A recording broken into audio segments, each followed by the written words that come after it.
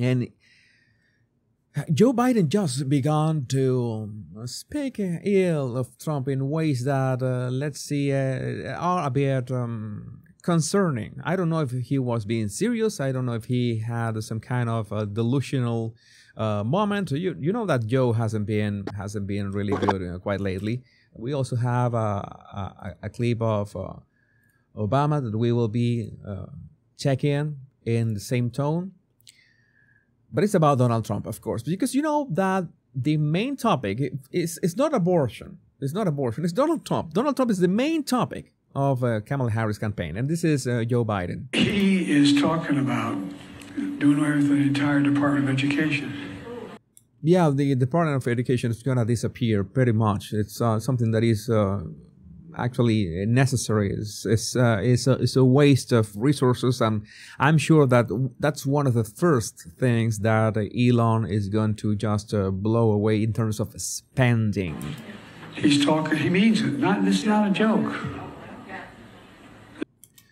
And you know, that's as, as usual. Biden has that look that is he really here? The last time I actually saw him, like he was conscious of what he was talking about existing, was at that uh, uh, church service that Obama was, um, well, you know, scolding him and telling him that most probably that Kamala was doing really bad in the polls but right now, he was lost. This is guy who also wants to replace every civil servant, every single one.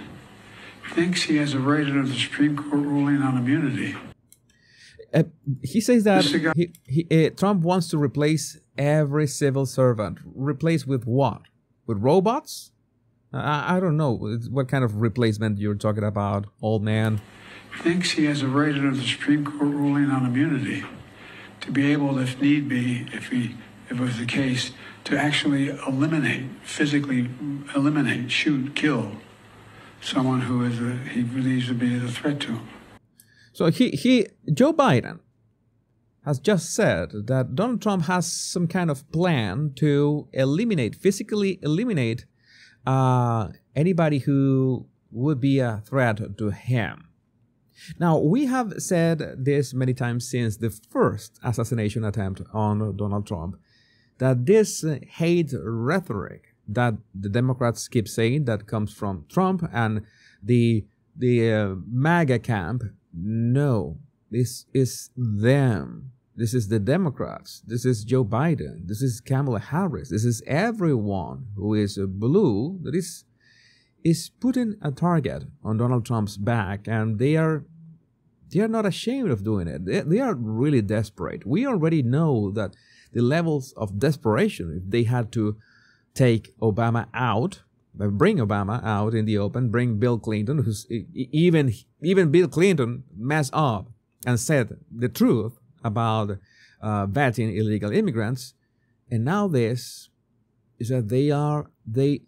I'm afraid of the level of desperation because the level of desperation means that they are willing to do anything it takes for Kamala Harris to win the presidency. Anything it takes. And I mean anything. I know what I'm talking about. There's so much at stake, and remember that picture that I showed you of the two reasons that uh, Bill Gates might have to donate uh, $50 million to Kamala Harris' campaign. You know that there's so much at stake big pharma, big food, uh, the Epstein list, the Diddy tapes. Um, there's so much. If if if war, if if the Ukraine and Russia war ends, you know how many people are going to lose money in the United States. You know the warmongers are gonna end up with all those uh, weapons not used, uh, not sold. It's, there's so much against Donald Trump or becoming president of the United States a second time that well I I would like I would like to tell you that it's possible, but I also know that the left is capable of anything to remain in power and make sure that well all those secrets are not revealed. I mean, so I know this sounds bizarre. Well, everything that you say sounds bizarre. Sounds like if I said this five years ago, you'd lock me up. We got to lock him up. We gotta lock him up. Him up. Politically, yeah, but we got to lock him up. And what did Obama said? Let's see Obama's words because um, Obama is not looking good, by the way.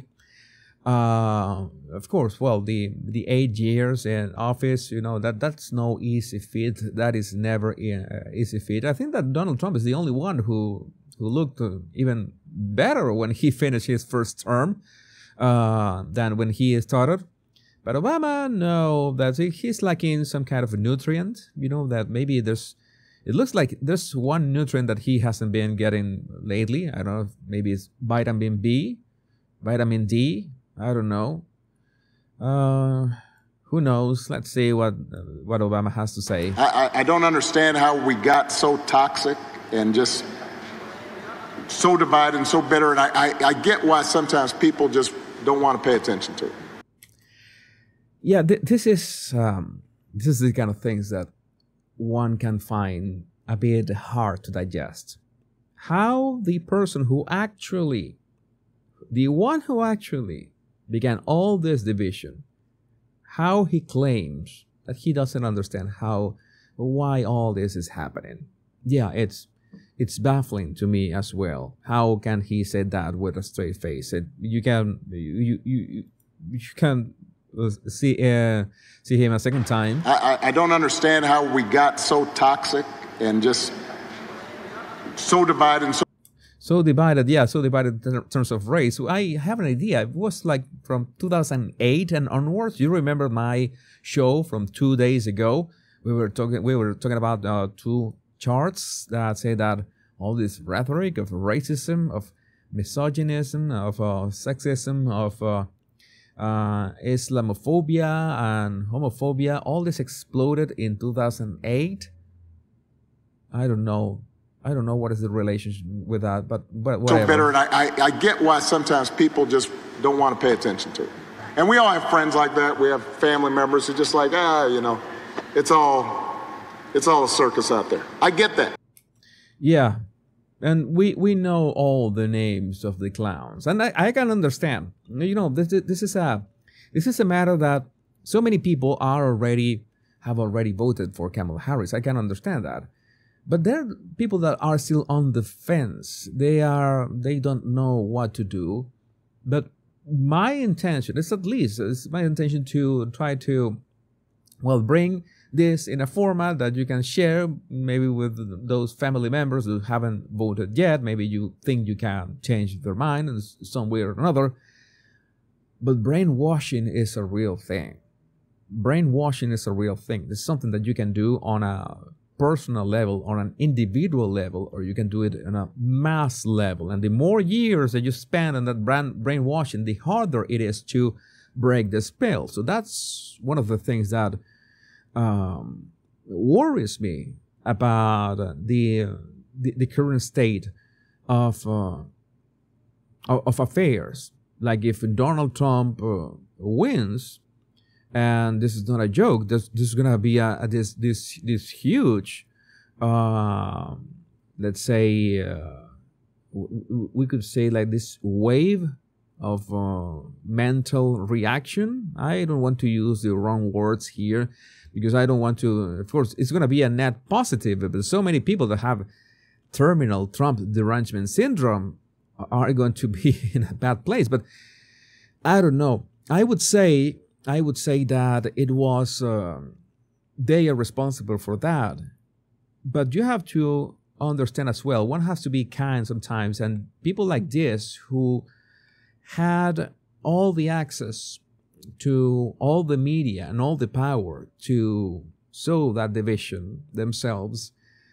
Uh, we have to be patient with people with uh, Trump derangement syndrome. Some some of them might uh, be already long gone, but some of them I know that some of them we can still bring back at least into having some kind of critical thinking. That's all that I ask. Maybe they're not going to vote for Donald Trump. Maybe they will still hate Donald Trump. It doesn't matter, but at least have some kind of criteria, common sense. That's that's what I want to foster here. You know that uh, that's how my channel started, the Body language guy. I wanted to, I wanted to teach people this, uh, this, uh, these tools. And the topics, well, the topics can vary. It can be gossip, it can be politics, can be anything, can be true crime, but the principles are the same. How can we have critical thinking to think for ourselves? And that's what I want for you. But I would like to know what you think about this in the comments as well.